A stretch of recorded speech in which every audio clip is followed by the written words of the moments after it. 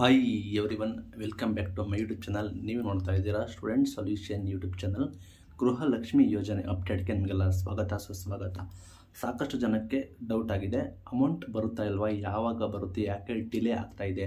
ನೀವು ಗೃಹಲಕ್ಷ್ಮಿ ಫಲಾನುಭವಿಗಳ ದಯವಿಟ್ಟು ಈ ವಿಡಿಯೋನ ಸಂಪೂರ್ಣವಾಗಿ ನೋಡಿ. ಚಾನಲ್ಗೆ ಸಬ್ಸ್ಕ್ರೈಬ್ ಸಬ್ಸ್ಕ್ರೈಬ್ ಆಗಿ ವಿಡಿಯೋ ಇಷ್ಟ ಆದರೆ ಲೈಕ್ನ ಮಾಡಿ. ಇಲ್ಲಿ ಗೃಹಲಕ್ಷ್ಮಿ ಫಲಾನುಭವಿಗಳಿಗೆ ಪ್ರತಿಯೊಬ್ಬ ಫಲಾನುಭವಿಗಳಿಗೆ ಯಾರೆಲ್ಲ ಎಲಿಜಿಬಲ್ ಇದ್ದಾರೆ ಅವರಿಗೆ ಅಮೌಂಟನ್ನು ನಾವು ಕೊಡ್ತೀವಿ. ಯಾವುದೇ ಕಾರಣಕ್ಕೂ ನಾವು ಮೋಸ ಮಾಡೋದನ್ನು ಸರ್ಕಾರದವರು ಕ್ಲಾರಿಫೈನ ಕೊಟ್ಟಿದ್ದಾರೆ. ಅದರ ಬಗ್ಗೆ ನೀವು ತಲೆ ಕೆಡಿಸ್ಕೊಳ್ಬೇಡಿ. ಸರ್ಕಾರದ ಮಾಹಿತಿ ಪ್ರಕಾರ ನಿಮಗೆ ಅಮೌಂಟ್ ಬರಬೇಕಾದ ಅಮೌಂಟ್ ಬಂದೇ ಬರುತ್ತೆ. ಈಗ ನೀವು ಕೇಳ್ಬೋದು ಯಾವಾಗ ಬರುತ್ತೆ, ಯಾಕೆ ಲೇಟ್ ಆಗ್ತದೆ ಅಂತ.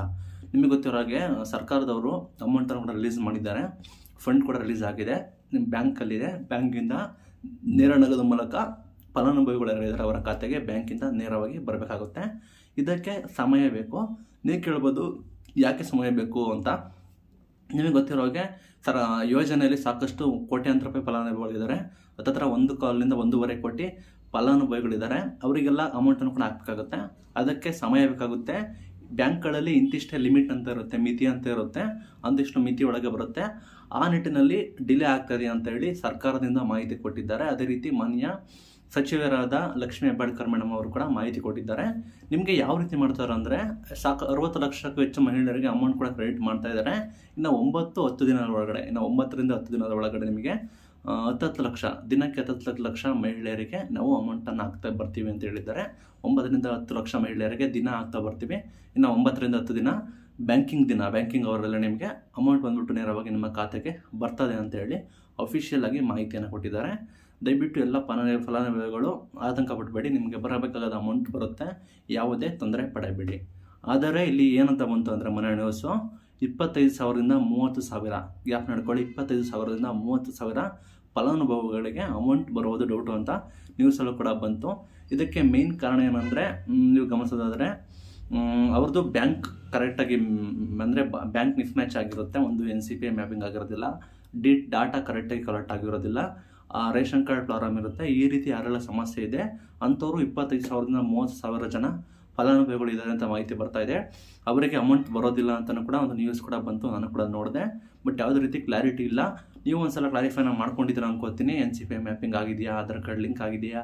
ಆ್ಯಕ್ಟಿವ್ ಇದೆಯಾ? ಮತ್ತು ಅಂತರ ರೇಷನ್ ಕಾರ್ಡಲ್ಲಿ ಗೃಹಲಕ್ಷ್ಮಿ ಅಂದರೆ ಮೀನ್ಸ್ ಹೆಣ್ಣು ಮಕ್ಕಳು ಯಜಮಾನಿ ಆಗಿದ್ದಾರೆ ಅಂತ ಇಷ್ಟನ್ನು ಕೂಡ ನೀವು ಕ್ಲಾರಿಫೈನ ಮಾಡ್ಕೊಳ್ಳಬೇಕಾಗುತ್ತೆ. ಇದು ವೆರಿ ವೆರಿ ಇಂಪಾರ್ಟೆಂಟ್ ಆ ಇಪ್ಪತ್ತೈದು ಸಾವಿರ ಮೂವತ್ತು ಜನ ಫಲಾನುಭವಿಗಳಿಗೆ ಈ ತಿಂಗಳು ಡೌಟ್ ಅಂತ ಹೇಳ್ತಾ ಇದ್ದಾರೆ. ಒಂದು ಮಾಹಿತಿ ಬಂದಿದೆ. ಬಟ್ ಕ್ಲಾರಿಟಿ ಇಲ್ಲ. ಕೊಡ್ತಾರೋ ಇಲ್ವಾ ಸ್ಟಾಪ್ ಮಾಡ್ತಾರೋ ಅಂತ. ಹಂಗಂತ ನ್ಯೂಸ್ ಬಂತು. ಈ ರೀತಿ ಡಾಟಾ ಕರೆಕ್ಟ್ ಆಗಿಲ್ಲ ಅಂತ.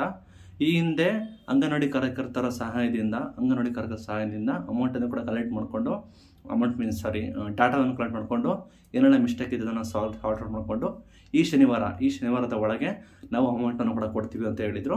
ಬಟ್ ನಿನ್ನೆ ಏನಾಯ್ತು ಅಂದರೆ ನನಗೆ ಗೊತ್ತಿರೋ ಹಾಗೆ, ಈ ರೀತಿ ಒಂಬತ್ತರಿಂದ ಹತ್ತು ದಿನ ಆಗುತ್ತೆ. ಈ ರೀತಿ ದಿನಕ್ಕೆ ಹತ್ತು ಲಕ್ಷ ಜನ ಮಹಿಳೆಯರಿಗೆ ಅಮೌಂಟ್ ಕ್ರೆಡಿಟ್ ಆಗುತ್ತೆ ಅಂತ ಅನೌನ್ಸ್ಮೆಂಟ್ ಕೂಡ ಮಾಡಿದ್ದಾರೆ.